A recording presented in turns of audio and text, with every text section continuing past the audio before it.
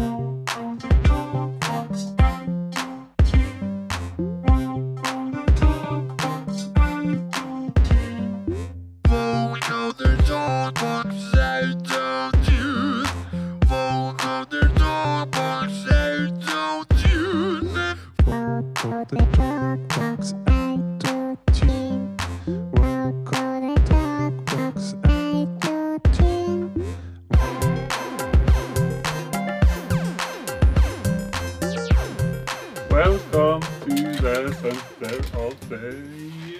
universe. Today uh, we are going to tell you uh, once and for all uh, what is the difference between a talkbox, a vocoder, and an autotuner.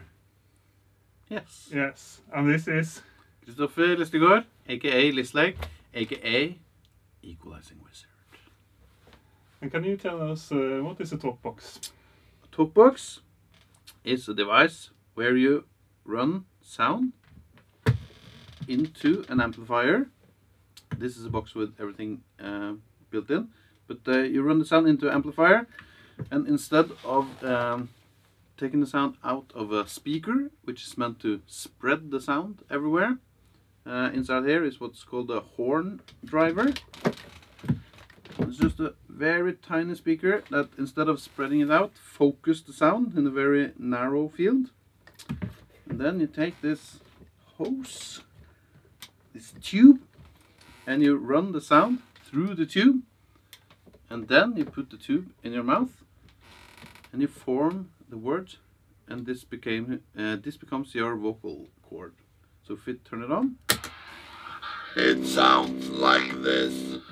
You just have to mime the words, and then you get the talkbox sound. yeah. Nice. And uh, maybe I have to say, uh, what is a vocoder? And uh, a vocoder is uh, a synthesizer uh, and uh, the sound of the voice combined. So you have to have not one signal, but two signals.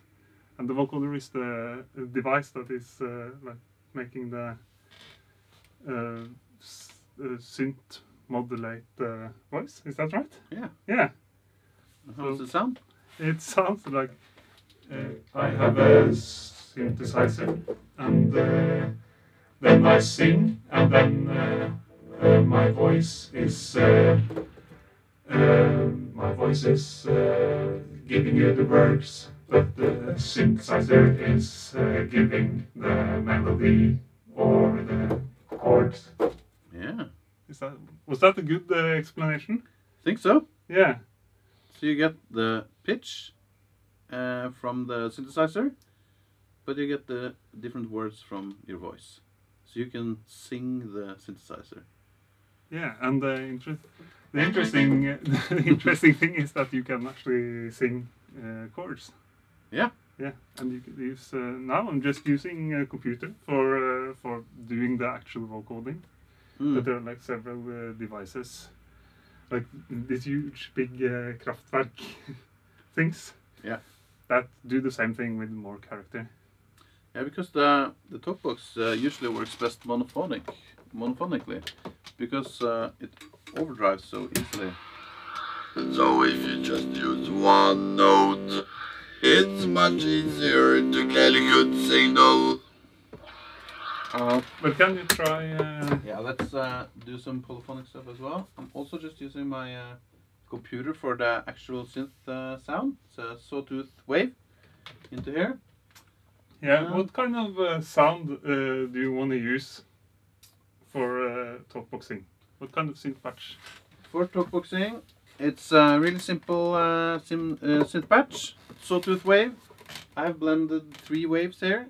Um, it's the main one, and then a little bit uh, of the octave below. Not much different, and a little bit of the octave above. Just to fill out I the can't really hear the spectrum a little difference. So If we're gonna use more than one note, we should make it with uh, simple mathematical intervals, like the fifth. The fifth works pretty good. We can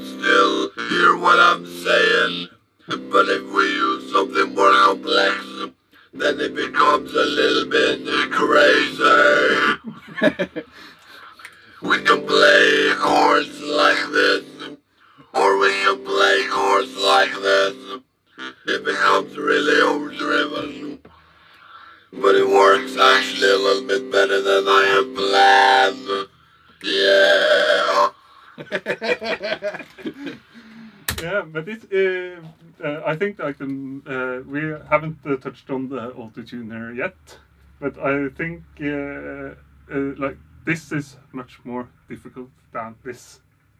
And I was trying to play the talkbox, and I felt like I was a baby that I have to learn to speak again. Yeah. And Yeah. uh, why is that? Well, um, with the talk box, uh, of course you gotta have this big thing in your mouth, and then you have to mime the words. But since this only makes the the vocal sounds or the the vocals, not the consonants, you have to uh, speak them. So you have to kind of whisper the words. So you have to kind of make it sound like this. And if you have the talk box, then Then it sounds like this. And it sounds even clearer if you have an actual microphone in front of you, so you hear the whispering uh, a bit more. Yeah, Um, but then you have to like do it very like physically yeah, and and form all the words, and uh, there's a bit of more technique uh, involved, uh, maybe. yeah. Because the vocoder is like something something anyone could do. Yeah. I think so. It's much easier. And it's like I have, I uh, haven't really actually now it's even not on, but it's the same thing with the vocoder that you have to have a like really harsh uh, and bad uh, synth sound to make it work.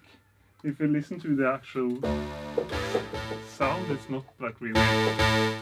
This is not that bad, but some of the uh, uh, really harsh waves, it gives you, with a lot of noise, it gives you uh, the possibility to hear the consonants. Mm. And I think it's also because um, just like subtractive synthesis, um, both of these methods are based on filtering the sound. So you're removing frequencies. So you have to have a lot of them to begin with. Yeah, So just like um, if you're using a low pass filter on the synth, for example, it's much uh, more dramatic effect if you have a, a, a waveform with a lot of harmonics in it.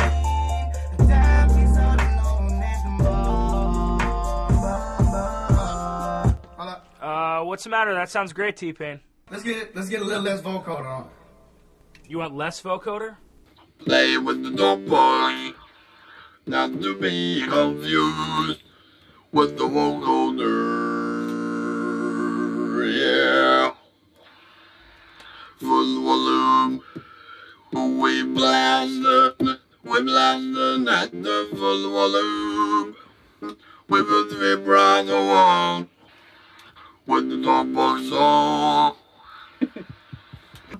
Now we have looked at um, two different methods. Uh, one which uses the um, synthesizer to filter your voice, and one where you use the voice to filter the synthesizer. So, Yeah. so what's the thing about autotune then? uh, autotune uh, was uh, invented uh, not as a musical uh, method. First, it was uh, invented for searching for oil. So they used a sonar to try to find the oil in, in the bottom of the sea. And then they needed to tune the signals that came back from the bottom at the sea uh, back at the sonar. Uh, but then uh, Antares, that is a company that uh, invented uh, autotune, they found out that they, they can use the uh, similar algorithm to uh, correct uh, musical pitch. So first it was like made as a, a rack unit, a physical uh, rack uh, that was uh, intended to use in studios uh, for when people did overdubs so that was out of tune.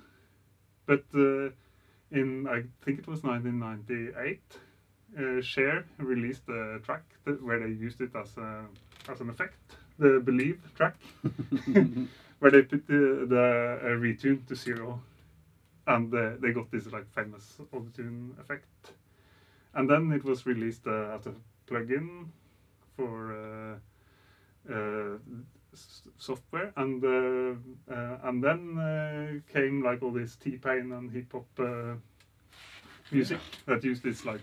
Yeah, it makes uh, Cher sound like not using autotune.